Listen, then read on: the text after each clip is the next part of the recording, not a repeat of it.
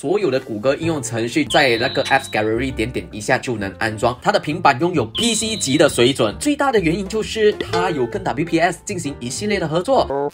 哎，跟你们说，你知道鸿蒙系统最近它跟那个 WPS 有一系列合作吗？超秋的，它跟笔电一样拥有所有的功能，非常完整的办公套件就植入到这个鸿蒙平板。也就是因为这个呢，它超越了市面上众多的安卓平板。反正如果你是一个谷歌 user 的话呢，那么你就不要看这一期视频了。如果不是的话，哎，那么你可以了解了解一下这个华为 MatePad 到底能做些什么东西。Let's go。华为哪来的底气说它的平板拥有 PC 级的水准？最大的原因就是它有跟 WPS。进行一系列的合作，所以在 Writer Special 跟 Presentation 进到界面的时候，哎，你会看到功能栏，哎，怎么跟 PC 是如出一辙，一模一样，一比一还原所有的功能，也就是你 PC 能做的东西，你的平板一样也也办得到。但目前这一项优化呢，只是针对今年的 MacPad Series 优化而已。至于以前呢，我就不晓得，你就要问华为那边会不会优化啦。把我们回归正传哦，那也是为什么华为把它的 MacPad Series 归类于 PC Lite 平板，它。a PC, but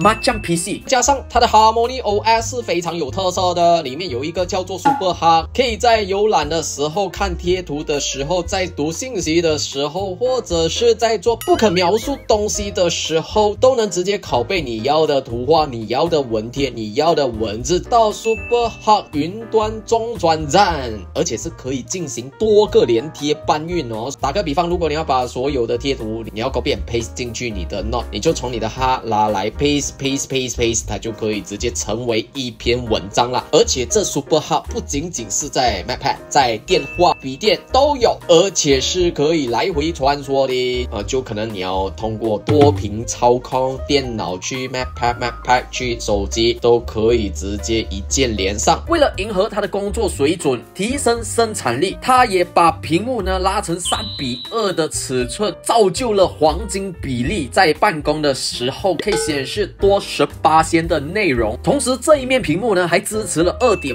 八 K 显示，还有三档可调一百四十四高刷，拿来用在 Entertainment 刷脸书 Instagram 的时候，你会感觉哇哦，好像很顺畅这样哦。再加上它有三档变速吗？又可以节省多一点点的电了哦。反正你也不用特地去节省，因为它的电量是很大的，它里面呢拥有八千三百毫安大电池，拿来工作做 document work，普通这样看戏哦，看十几个钟都没有问题的。再来以往的平板。虽然也配备了键盘，键盘是可以分离，板一分离的时候就不能操作。而这个 MacPad 的键盘呢，它里面就有 built-in 了少少的电池，当你分离的时候，依旧可以进行工作。你还可以用你最舒服的姿势去办公。不例外的这一次呢，当然也支持了 M Pencil。假如你是一个画家、作家、designer，你需要到笔的话，没错，它有笔可以用笔来画画。当然也有一部分的人就说，哎，这个 MacPad 是不是不能用谷歌 Apps 啊？虽然说这个平板不是 EMUI，它是 Harmony OS，but 也支持 Lighthouse。MacPad Series 所有的型号呢是可以安装 Lighthouse。一安装后呢，所有的谷歌应用程序就好像喝水这样，在那个 Apps Gallery 点点一下就能安装。如果你是要了解更多有关哎有什么谷歌应用程序能用不能用的话，当然你可以看回我上几期的视频啊。而今天主要讲的就是